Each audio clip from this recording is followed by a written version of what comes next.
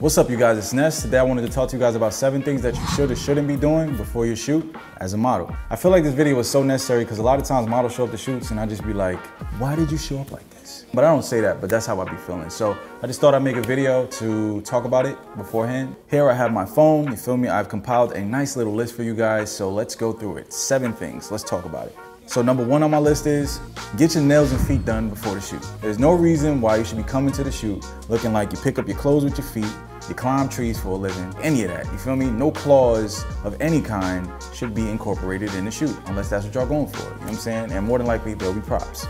But yeah, you shouldn't expect a photographer to also be a graphic designer and give you fill-ins, uh, deal with chip nail polish, any of that. Just make sure you get your claws done before you come to the shoot. So that, that's number one. All right, all right. So number two on my list is get waxed. That means your upper lip, your lower lip, your bottom lip, your back, your neck, your armpits, your eyebrows, whatever you need to get waxed and get situated before the shoot, you should get that situated before the shoot. And your armpits, you feel me? I don't wanna have to Photoshop your armpits. For the most part, I don't wanna have to sit there trying to remove a whole chunk of your hair out of the photo. Glad we have an understanding here. Number three, do not show up drunk, buzzed, or high.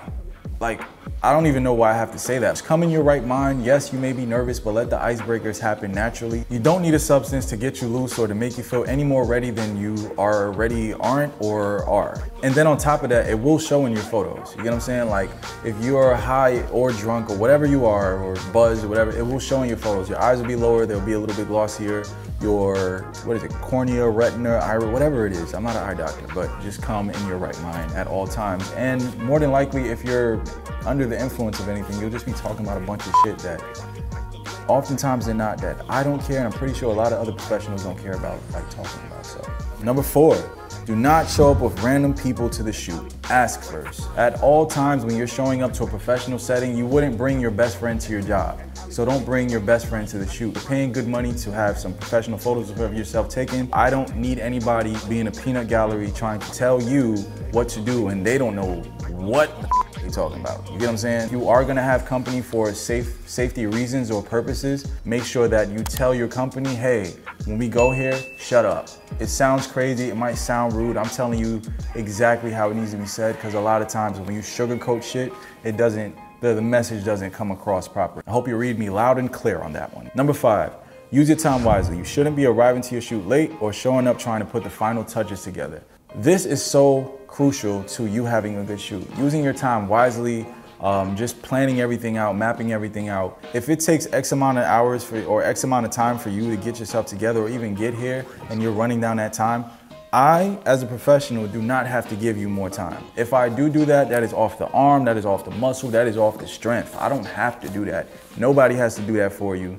You have to be on time though. You shouldn't be getting here trying to be like, hold on, let me put these lashes on. Not only does that not work, but whatever you're trying to apply more than likely won't look good because you're rushing to do it. So make sure you have X amount of time to do everything that you need to do. Time management is very important. Use your time wisely and be cognizant of other people's time, all right? All right. Number six, do not show up to your shoot with big lashes and lace fronts. I'm gonna be completely honest and blunt and tell you, a lot of that shit doesn't look good.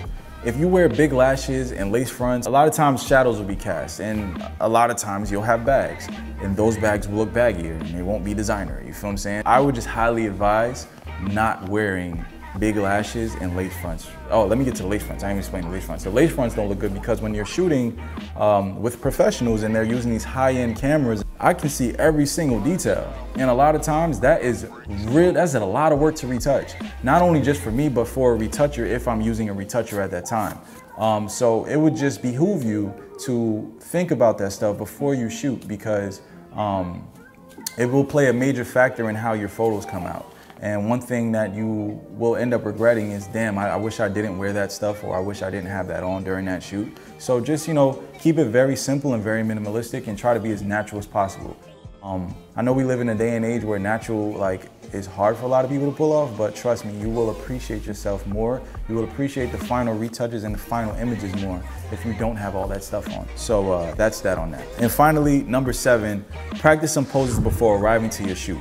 Nobody knows your best sides and angles better than you. Practice your poses before you come to the shoot. Prior to your shoot, you should be pulling up poses. You should be doing your research on how to pose and stuff like that, just how to use your hands and your feet. Those are the two things that people do not know how to use when they pose and don't even understand that it's very important when you pose. Your feet and your hands. That's gonna be a whole nother video. You wanna at least practice before you get here because when I put the mirror in front of you and I start shooting, I don't want to talk that much. I don't want to have to be telling you like, okay, yeah, do this, do this, da da da da. It's not it. You have to know what you like and what you want and how you want to look and you have to be able to present that so that way I can capture it in the best light possible. So that's about it for my video. I hope you guys, you know, took something away from this. Uh, you listen to all of these tips and I promise you, whoever you work with will greatly appreciate you and it will make your photos come out 10 times better. I'm not trying to talk too much more. I really don't have that much more to say. Uh, just remember to comment, like, and subscribe. If you don't like this video, make sure you hit the dislike button two times and then you make sure you